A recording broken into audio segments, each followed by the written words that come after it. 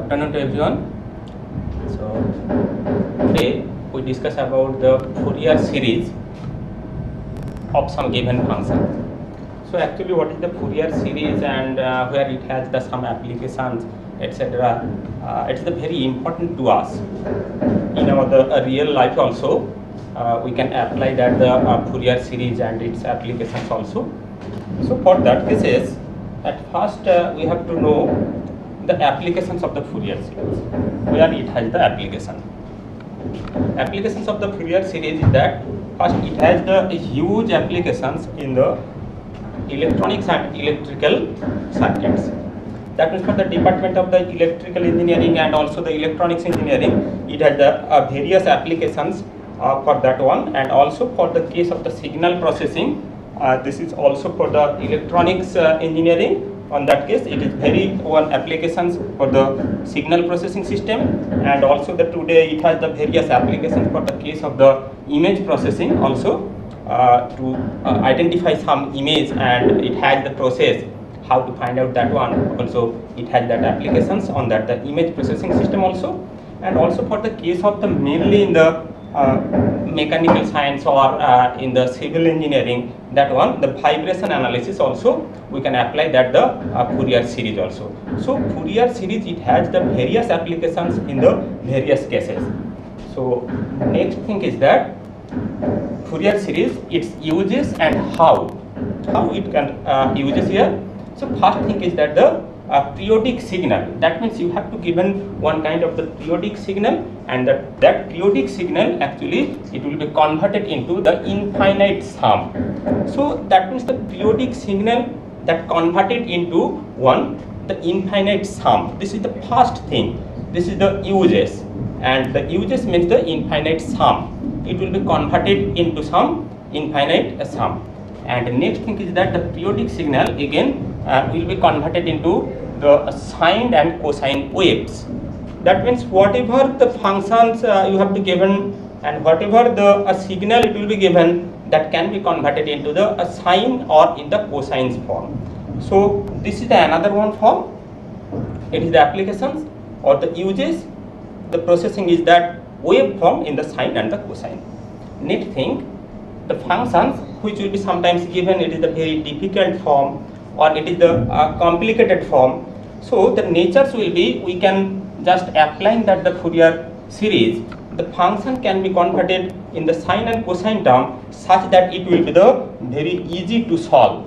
So that means the solutions will be the very easier respectively which it was the difficult that function. So this is the another one the applications or the uses.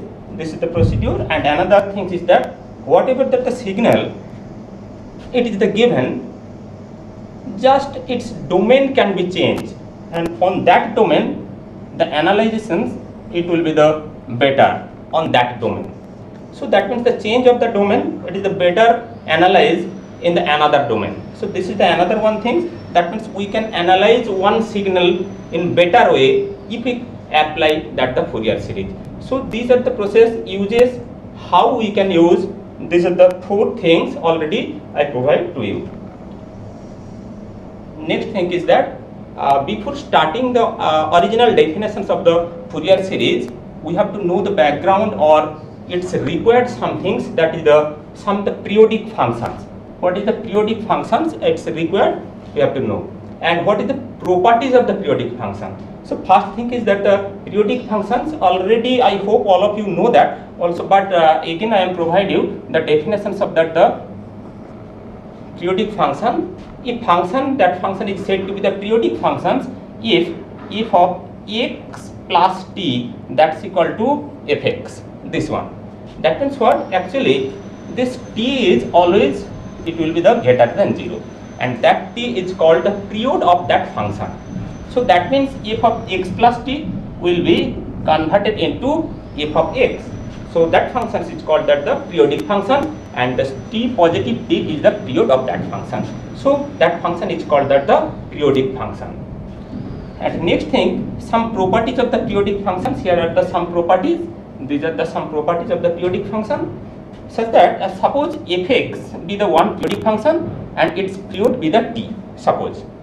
So then the first property is that nt is also will be the period of the function fx. This is first thing. And what is n? n is any positive integer. What is n? That n is any positive integer. So uh, next thing is that again fx periodic function with the period t then if we consider that any function fx equal to c constant function this is also the periodic function and its period will be any real number will be its period so that means constant function is always the periodic function and we may consider any real number is that the period of that function. Number 3 f of ax f of ax is also the periodic function and the period of that function is that t by a. What is a? If the denominator is a so a must be not equal to 0 so this is the another one property. F of ax is also the periodic function with the period t by a.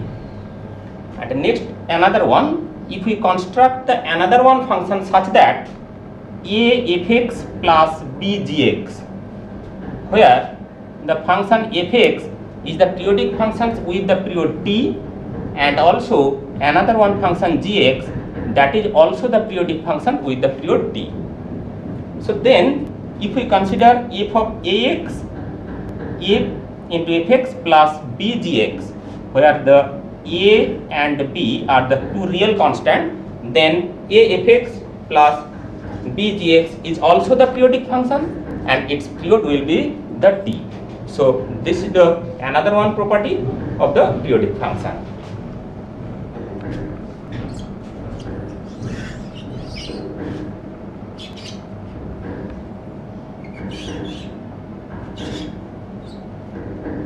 So we now consider here the four properties. Number one, nt will be the period of fx, constant functions be the periodic function, f of ax is also periodic function with the period t by a and a fx plus b gx is also the periodic function.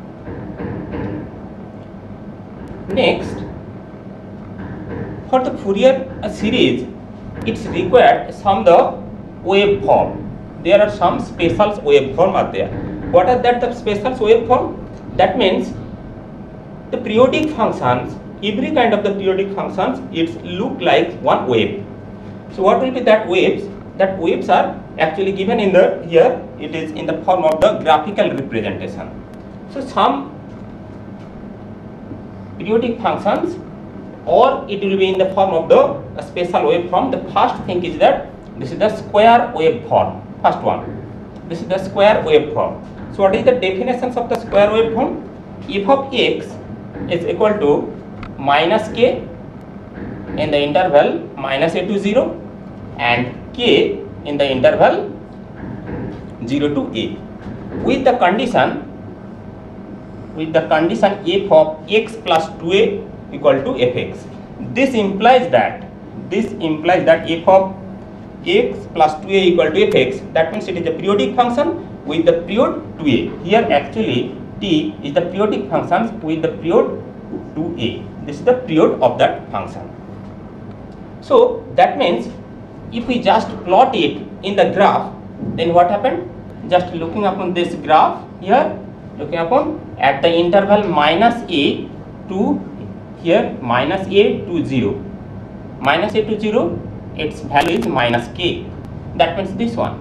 This one is here the value. And again at the interval 0 to a 0 to a that means 0 to a its value is k. So that means here the graph will be this one. So that means in the interval minus a to the a graph is this one. Here to here. So that means in the total period 2a the functions can be just plotted in the graph in this way. And again just if we take it's the next interval that means a to 3a this interval again the graph plotted in this way here and here. So ultimately if we also take on the left hand side so from minus a to 3a minus 3a So in this interval, the graph can be plotted here and this way. So ultimately up to the negative infinity and also if we go up to the positive infinity, we can find out the graph representations in a form of the wave. So ultimately the form of the wave will be this is the wave of that graph. That means this is the nature of this graph is nothing but one kind of the wave. So this wave is known as the, the square wave form. Next there be the another one that is another one waveform that is sawtooth waveform. Sawtooth waveform. What is that one? So definitions of that one. It is f of x equal to x. The interval is minus a to plus a. So that is the interval and also it is given f of x plus 2a equal to fx. It implies that this is the again the periodic function with the period t equal to 2a. This is the period of that function. So that means if we plot that functions in the graph, so that means in the interval minus a to plus a, if we plot it on the graph, it will be just this one. So here this is the minus a and here this is the plus a. So in the interval minus a to plus a, the graph can be plotted here, this one. And similarly, if we take the next interval, that means a to 3a, this one. So a to 3a, the graph can be plotted in this way. And if we take on the previous interval, that means in the interval minus a to minus 3a, so graph can be plotted in this way. So in the similar manner, we can go up to the negative infinity and also we can go up to the positive infinity. And this actually nothing but one wave type. So this wave type form is known as that the saw-toothed wave form. So this is the saw-toothed wave form and now we consider the another one that is the again special type waveform. This is a very important one waveform that is the half wave rectifier. Half wave rectifier. This is definitions of that half wave rectifier. This is fx is equal to k sin x interval 0 to pi and the value it will be the 0 in the interval pi to 2 pi and also here it is a given f of x is equal to f of x plus 2 pi that's equal to fx that means this is again the periodic function and with the period t is equal to 2 pi. This is the period of that function. So if we just plot that in a graph so just looking upon here in the interval for this graph fx in the interval 0 to pi. 0 to pi means here this is the 0 0 to pi. So 0 to pi its value is that the k sin x. K is the constant. That means if we just plot it here it will be here on the graph. You can see here looking up here and here this height is nothing but this is the k height. This height the distance is that the k distance. So for that result this is the k sin x and on the remaining interval that means pi to 2 pi. Pi to 2 pi that means here pi to 2 pi its value is 0 so that means here this one. So actually nothing but this graph is nothing but in this way. This is the graph actually in the interval 0 to 2 pi again if we consider the next interval the next interval that means 2 pi to 4 pi so what will be the graph the same graph it can be drawn here in this way here and if we take the previous interval that means the previous intervals means here that 0 left hand side 0 to minus 2, 2 pi so here the graph also will be this. So in this way we can go up to the negative infinity and also we can go up to the positive infinity. So this is the another one form. This is known as half wave rectifier. And next thing another one. And this form is the full wave rectifier.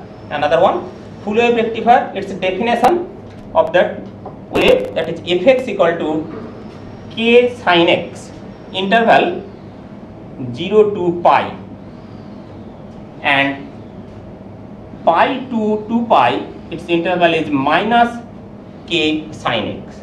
And also here it is given f of x plus pi equal to fx and for that case it implies that here the period of that function t equal to pi.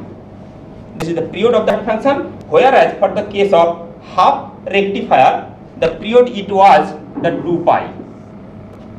And now if I just plot these functions on the graph so just looking upon 0 to pi so 0 to pi 0 to pi this one and here its value is that the k sine x. So it will be here the k sine x. So this one this is the graph and also pi to 2 pi. Pi to 2 pi that means this pi to 2 pi negative k sine x. That means it will be just here this one. So actually here the graph is this one and this one. So this is the graph actually on the interval 0 to 2 pi. And similarly if we just plot it on the right hand side we can go up to the infinity and also on the negative side we can go up to the negative infinity in this way. This is the another form that is known as that the half sorry it is the full wave rectifier. Next thing now we are just give the definitions of the periodic extension. What is actually the periodic extension? The periodic extensions means suppose uh, the function sometimes it will be the given fx that will be defined on some particular interval but the function is not defined in the whole uh, real line. So for the case of the, the periodic functions it says that it will be defined all over the real axis. But since the function which is given defined on the interval minus a to plus a how it is possible to find out the value outside of that interval? So that is known as that the periodic extension. That means in anyhow we have to find out the functional value at the outside of that given interval. So for that cases so if i take how we can extend that? That is known it is the periodic extension. And suppose if we consider this is the uh, x axis and this is the y axis if we consider here x axis and y axis and here uh, this is the origin and suppose the interval here it is minus a to plus a. So that means if I plot here this is the minus a and here this is the plus a so this is the interval now question is that what is the a function that affects? It is not known to us now. So that means in anyhow suppose we consider the function is this one be the function suppose. I may consider it this is the function fx. This is the function fx. Okay? So this is the function fx. So that means the plot of the functions minus a to plus a.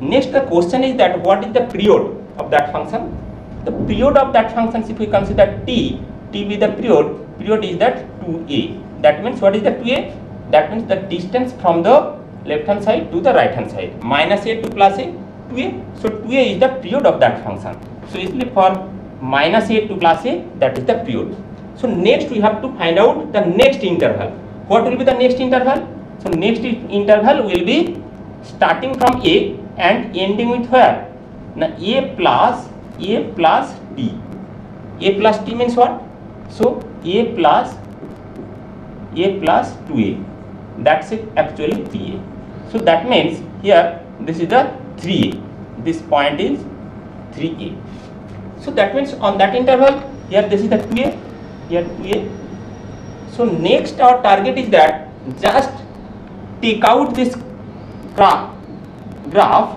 take out this graph and plot it on the next interval that means just we plot it on the next interval in this way and again if we go for the next interval from 3a to it will be up to the 5a 5a and on that interval the graph will be this one and similarly if we take on the negative hand side so the negative hand side next interval it will be minus a to minus 3a this one and if we plot that graph on this interval then it will be this in this way this is the graph and similarly if we take the next interval on the left hand side again so that means up to the 5a here minus 5a and we plot that graph again here so this one so in this process we may go up to the negative infinity and also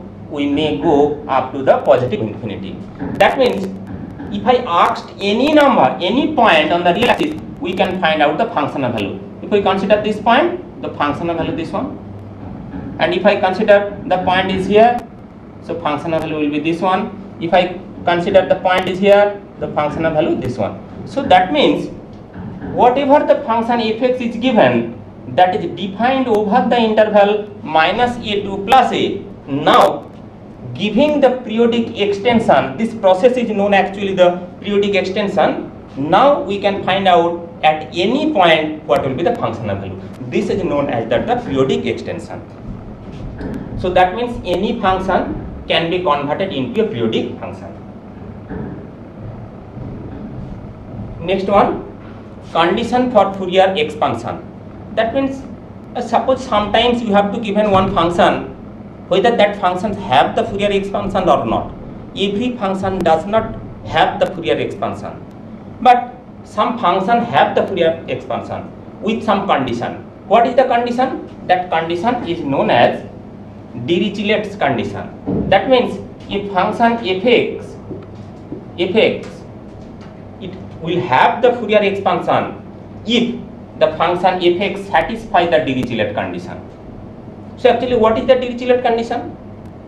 So a function is said to satisfy the Dirichlet condition if it satisfies either number 1 or number 2. This is or either or any one either the number 1 or the number 2 anyone what is actually the number 1 Dirichlet condition number 1 fx be continuous that means you have to given sometimes some interval suppose suppose here this is the interval this interval is given suppose a to b this interval the function fx this function fx must be continuous on that interval ab Second case is that it will be the bounded. The function must be the bounded in the interval a to b, this interval. Next it will be the periodic. The function must be the periodic in the interval a to b. If not periodic, we know how to convert it into the periodic function. Third thing is that it is integrable. That means functions have the integration on the given interval. Next thing is that monotone on the open partial interval this is the very very important one things that is the monotone on the partial open interval partial open interval means what that means suppose uh, you have to given the interval this a to b that interval can be divided into sub interval in this way divided into sub interval finite number of sub intervals so we can divide it into finite number of sub intervals on that sub intervals if I consider this with the graph fx, this is the graph fx. So looking upon here on that particular interval, the function is monotone. That means the functions will be either increasing or the functions will be either decreasing on that interval. So in every interval, the functions will be the monotone. So that means if it satisfy the Dirichlet condition, this is known as that the Dirichlet condition. Second one, what is the second one? That means fx has discontinuous point that means if the consider the interval a to b a to b be the interval this be the interval and on that interval suppose there are some points where the function is discontinuous so the first thing is that for the discontinuity at first we have to take the neighborhood at the these two points take the neighborhood on that two point and exclude that neighborhood. That means we exclude that neighborhood from the interval. So what is the remaining portion? The remaining portion is from my A to this one and another one is this one and another one is this one.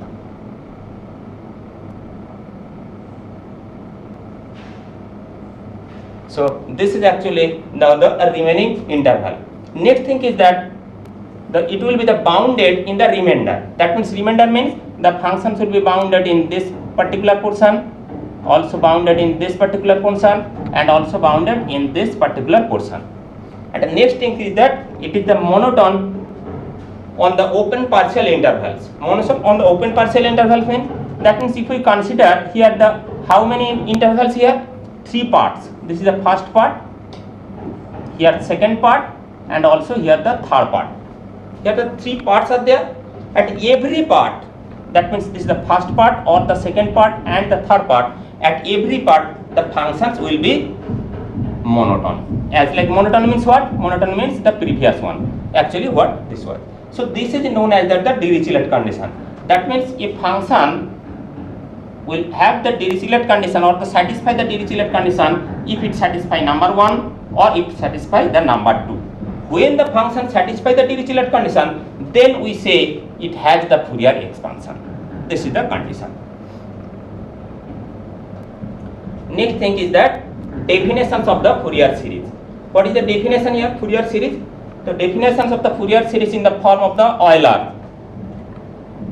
so first thing is that fx defined and integrable ये दो होना चाहिए so it will be defined and integrable in the interval minus t to plus t then the Fourier series of the function fx Fourier series of the function fx will be equal to this one a naught by 2 plus summation an cos n pi x by t plus bn sin n pi x by t.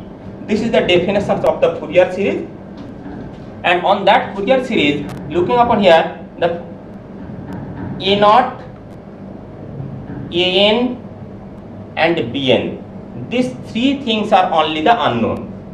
Remaining all other things are the known. That means t it is known because the given interval that is the t and n this is the number integer n equal to 1 2 3 4 5 etc these are the n.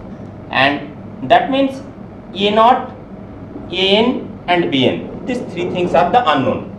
Our target will be that we have to find out these three things a naught an and bn these are the formula for finding out the a naught. A naught means 1 by t 1 by t integration minus t to plus t fx dx. Here t is that the half length of the period. So looking upon here what is the total length? Minus t to plus t. So total length is the 2t that means length of the period is the 2t and we consider here 1 by t that means half period or the half length of the period. So 1 by t minus t2 plus t fx dx that is the a naught the value of a naught. Next an an 1 by t minus t2 plus t fx cos n pi x by t into dx this one and obviously n is the positive integer 1 2 3 4 5 up to infinity whatever it's be.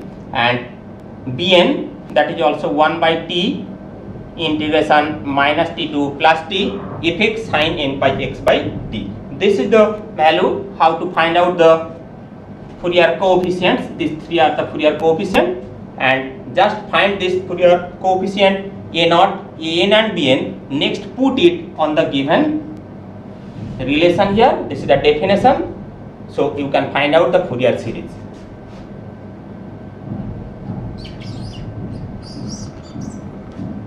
so these are the Fourier series the definition of that one. Next thing is that definition of the Fourier series in the different intervals. So on the previous one I provided here the uh, interval. It was the minus t to plus t. That was the interval. And, and now here if the interval be changed then what happened? So in the interval minus t to plus t the it will be the Fourier series. And on the same thing the uh, if we consider the interval c to c plus 2t so then here fx will be equal to fx it will be equal to the same thing a naught by 2 plus summation a n a n same thing same one cos n pi x by t. Because here the total length is there 2t plus bn sine n pi x by t. This one and obviously n equal to 1 to infinity. This one so looking upon here the total length of the period is that 2t the same things again here. And again if we consider the interval be the minus pi to plus pi so it's it will be the fx equal to fx is equal to a naught by 2 plus summation a n cos n pi x by pi. Actually pi because t is here pi total length here this is the uh, 2 pi 2 pi is the total length so that means half length is that the pi half length is that the pi. So for that result here it is the pi. N pi x by t plus bn sine n pi x by pi. This one so actually it will be a naught by 2 plus summation a n cos of nx pi by cancel plus bn sin nx so this with the Fourier series the definitions of the Fourier series for the different interval also we can find out the Fourier series taking this one. On the interval minus t to plus t c to c plus 2t and minus pi to plus pi. Next one is that the one example okay so now uh, we take one the example. Example of the one uh, Fourier series that one here the one example. Uh, expand fx equal to x that means is the function fx equal to x be the function uh, in the Fourier series and hence so that this one. So first thing is that we have to find out the Fourier expansion of the function fx equal to x this one. Next we have to find out this result so for uh, since we have to find out the Fourier series so first thing is that we have to find out what is the period of that function. So it is minus pi to plus pi. So period of that function, so obviously it is the 2 pi will be the period. So for finding out the three Fourier coefficient of that one, so a naught be the Fourier coefficient first one a naught a naught equal to 1 by pi this is the definition uh, a naught equal to 1 by pi minus pi to pi fx dx this one. So if I put here 1 by pi this one the integration minus pi to pi fx dx. What is the value of fx the value of fx equal to x here. So fx means x into dx this one. And the value of this integrations will be equal to 0 this one just uh, we can directly write down the value of uh, this integration equal to 0 because the function x is that the odd function and odd functions minus pi to plus pi. This integrations will be the equal to 0 so this value will be the 0 next one we have to find out the another coefficient an. An equal to 1 by pi minus pi to pi fx cos nx dx so that means 1 by pi integration minus pi to plus pi fx the value of fx equal to x into cos nx dx this one and what will be the value of this integration? Also again without any calculations we can say that its value will be the zero. Because of why? Because looking upon here uh, the integrand portions this one x into cos nx. X is that the odd function cos nx even function. So product of odd functions and the even function that is the even function. So this is the odd function here x into cos nx is the odd function. So odd function minus pi to plus pi its value will be the zero. And last one that is the bn its value will be 1 by pi that's minus pi to plus pi fx. fx the value of fx equal to integration minus pi to plus pi fx equal to x sin nx sin nx dx. This one the integrations of this one that is equal to just uh, the value of the integrations 1 by pi. Uh, actually this is the uh, even functions. X into sin nx this is the even functions. So we can take it here the 2 by integration 0 to pi x sin nx dx so this is the integration and what will be the value of this integration? So this is equal to 2 by pi 2 by pi integration of x sine nx. So integration by parts x is the first function sine x is integration uh, minus cos of nx minus cos of nx divided by n minus derivative of first function that is 1 derivative of x equal to 1 into integration of this function this portion integration of this function that is the minus sine nx divided by n square this one and the interval is minus pi to plus pi this one so just here uh, this portion the value of this portions will be equal to 0 because here the sine it is the sine function is given so minus pi to plus pi its value will be no sorry this is the 0 lower limit this is the 0 so 0 to pi so this portion will value will be the 0 and the value of the uh, first portion here so for the lower limit 0 it will be the 0 and only the portion is that for the upper limit so its value x equal to pi. So x equal to pi means 2 by pi 2 by pi with the negative sign cos n pi divided by n. This one with the pi. So pi pi cancel here. So it will be the minus actually here this is the minus 2 by n cos of n pi. This one and actually its value is equal to minus 2 into minus 1 to the power n. Minus 2 into minus 1 to the power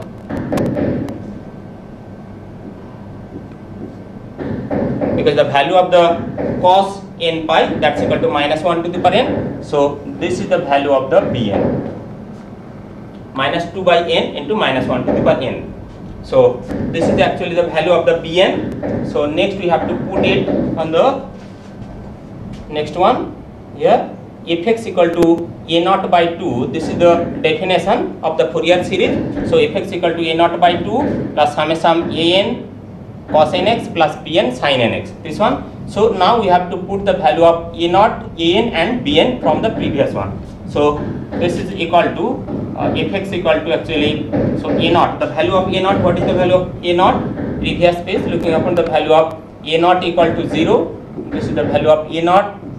This is the 0 and the value of a n that's equal to 0 so put on the here a naught here a naught zero by two actually zero plus same sum A N A N equal to zero plus put the value of B N what is the value of B N just go on the previous one previous page this one that means minus two by N minus one two the N so yes minus two by N into minus 1 to the power n. This is the bn into sine nx. This one. So now if we just uh, uh, calculate it so first portion equal to 0 so put here here n obviously n equal to 1 to infinity. That's one.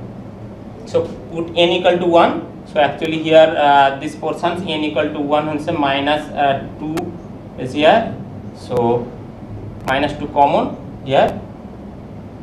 So n equal to 1 that means uh, sine x by 1 n equal to 2 that means minus sine 2x by 2 next n equal to 3 plus sine 3x by 3 and plus sine 4x in this way. This is the Fourier series. That means left hand side it was the fx and that means it is the x. So x equal to that series. This is the required Fourier series of the given function. And next thing is that so this is the your answer. X equal to 2 into sine x by 1 minus sine 2x by 2 plus sine 3x by 3 plus up to infinity. So uh, this is your the answer the Fourier series of the given function. First question and next is that we have to prove the second one. So for that case we have to put x equal to pi by 2 on both sides. So putting x equal to pi by 2, x equal to pi by 2 on both sides. So put x equal to pi by 2 here, x equal to pi by 2 here that's equal to 2 into sine x sine pi by 2 that means uh, 1 minus sine this value 2 x by 2 that means 2 pi by 2 this value equal to 0 next one sine here sine 3 pi by 2 its value is the minus 1 so it is that minus 1 by 3 this one. Next value it will be that 1 by 5 actually uh, yeah 0 for the 4 next one plus 1 by 5 and in this way so that means if we just take it on the left hand side its value will be equal to it is pi by 4 this 2 on this side so pi by 4 that's equal to 1 minus 1 by 3 plus 1 by 5 minus dot dot up to infinity. So this value is equal to pi by 4. This is your the answer and hence proved. So this is the one example for the Fourier series how to find out the Fourier series and also from the Fourier series we can derive this type of the